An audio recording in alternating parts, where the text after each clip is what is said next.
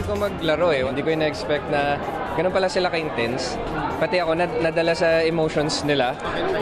Hindi, yung kay DJ, nag-sorry ako. Sabi ko, "So- sorry bro, tumaas yung emotion ko. Sabi niya, hindi, okay lang yan. Basketball lang talaga yan.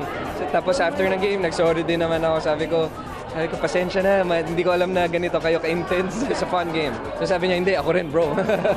Okay lang. Hindi ako rin nag-sorry ako, syempre uminit din ako eh. Pero ganun nga, basketball nga, physical, emotional, and uh, syempre gusto nyo lahat manalo. So hindi mawawala yung competitiveness ng lahat. Okay lang, enjoy naman kaming lahat.